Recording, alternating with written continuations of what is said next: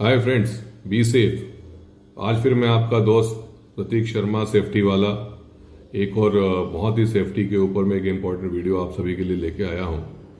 दोस्तों क्लोरीन हम सभी बहुत ही अच्छे तरीके से इस नाम से परिचित हैं।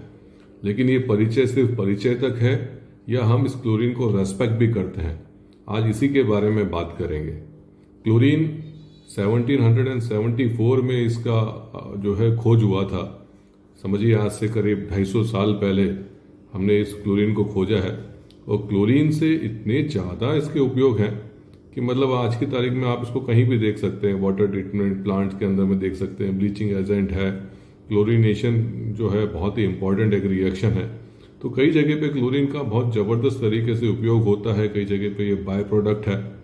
ओके लेकिन ये जो क्लोरीन है, इसके हजार्स भी बहुत हैं। इसलिए मैंने पहले कहा कि क्या हम इस क्लोरीन को रेस्पेक्ट करते हैं?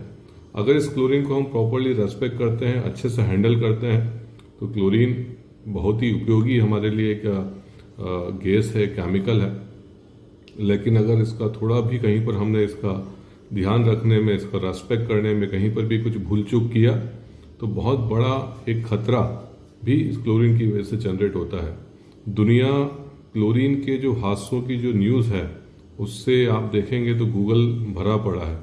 सिर्फ़ आप थोड़ा सा सर्च डालिए number of accidents will come तो ये इस चीज़ को बताता है कि जब भी हम क्लोरीन को यूज़ करते हैं, उसको बहुत ही सेफ्टी से, बहुत ही सोच समझ के, बड़े संभाल के, बहुत ही रेस्पेक्ट दे के क्लोरीन को यूज़ करना है। तो इस, ये जो वीडियो है, इस वीडियो को हमने कुछ पार्ट्स में बनाया है। आज हम लोग पार्ट वन पे बात करेंगे। और इसमें हम लोग समझेंगे कि जो क्लोरीन है, उसकी जो प्रॉपर्टीज़ हैं फ़िज़िकल प्रॉपर्टीज़ क्या हैं? और उनको कैसे हम लोग उपयोग में ला सकते हैं?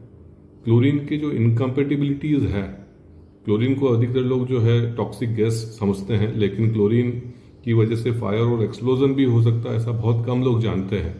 तो ये जो क्लोरीन की जो इनकम्पेटिबिलिटीज़ हैं, वो किस किस मटेरियल के साथ में है, वो भी हम लोग समझेंगे। और इसके अलावा एक सबसे बड़ी चीज़ आज हम लोग समझेंगे कि क्लोरीन का अगर कहीं पर लीकेज होता है तो उसका जो डिस्पर्शन है, उसका जो डिस्पर्शन का कंटूर है, वो किस तरीके से बनता है, उसकी प्रॉपर्टीज़ क्या है? So that in case of emergency we can handle chlorine in a proper and safe way तो आइए, आज का ये पार्ट वन में हम लोग एक वीडियो को देखें और उससे हम लोग समझते हैं क्लोरीन की फ़िज़िकल प्रॉपर्टीज़ क्या है और क्लोरीन लीकेज होने पर किस तरीके से बिहेव करती है। आगे आने वाले वीडियोस में हम क्लोरीन के बारे में और जानकारी लेंगे। मेरा सभी से निवेदन है कि इस वीडियो को ज़्यादा से ज़्यादा आप लोग देखें शेयर करें उपयोग में लाएँ ताकि लोगों का क्लोरीन के बारे में जो अवेयरनेस है वो बढ़े और क्लोरीन को हम सेफ़ वे में उपयोग कर सकें thank you very much Chlorine exhibits a very strong, pungent odor that is similar to bleach but is much stronger.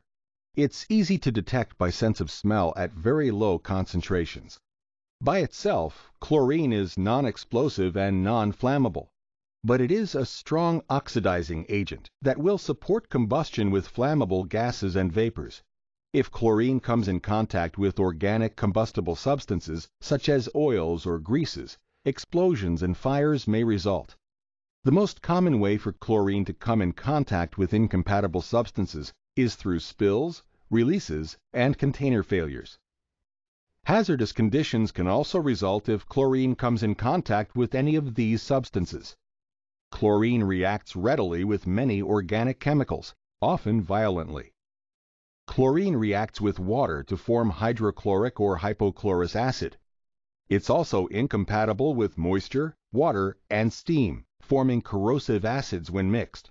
At 483 degrees Fahrenheit, chlorine will oxidize steel, essentially burning it. Chlorine reacts with steel at lower temperatures under certain conditions. Oxidation could lead to a fire, which should be avoided since water cannot be used on a chlorine fire. Chlorine exists as a gas or a liquid. This chart compares the properties of chlorine gas and liquid. Again, it's important to remember that gaseous chlorine is heavier than air, so it will settle into low areas, such as basements, creek beds, and ravines. Liquid chlorine becomes a gas at minus 29 degrees Fahrenheit at atmospheric pressure. Liquid chlorine has a clear amber color, while chlorine gas will exhibit a faint yellowish color at low concentrations and greenish yellow to green at high concentrations. Depending on the humidity, chlorine gas is usually not visible at concentrations below about 25 parts per million. The following footage illustrates what occurs during a 1-ton liquid chlorine controlled release. This test was conducted in a remote location, very far from any residential area.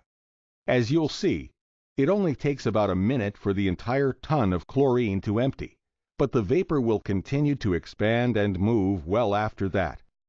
The tank shown is about 8 feet above the ground. Keep that in mind as you watch the amount of rise of the vapor during the release. Also, the land below the ton container has been dug out into a bowl shape, with the lowest elevation directly below the ton container.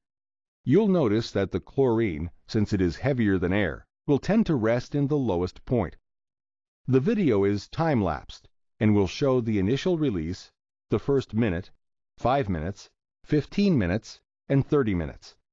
You can see the chlorine rapidly escaping through the 3-inch ball valve on the bottom of the tank. Notice that the chlorine is barely rising more than about 2 feet from the ground. It's also staying within the dished out region around the container itself. At the 1 minute mark, you can see that all the liquid has been released. At the 5 minute mark, you can see the oval outline of the concentration of the chlorine vapor. At the 15 minute mark, the amount of visible chlorine is significantly reduced but it is still there. At the 30 minute mark, you can no longer see any chlorine vapor under the tank, although the concentration is probably still 10 parts per million, which is the IDLH for chlorine. It's also interesting that the chlorine stayed about 2 feet above the ground. To give you an idea about how little of the chlorine rose above that level, a flock of birds flew over the test site and rested on the chlorine container for a while. Even though there was a lethal concentration of chlorine below the tank, the birds showed no ill effects and flew off. In this example, we'll view a side-by-side -side comparison of a heavier-than-air material, chlorine, and a lighter-than-air material, anhydrous ammonia. Even though both of these materials are considered poison inhalation hazards, this comparison illustrates the need for different response considerations in an emergency involving chlorine versus a lighter than air material. Very quickly, you can see that chlorine sinks to the ground while the ammonia fills the airspace as the volume of ammonia increases, even blocking the view of the tank. The way ammonia rises is a significant consideration for any elevated surface.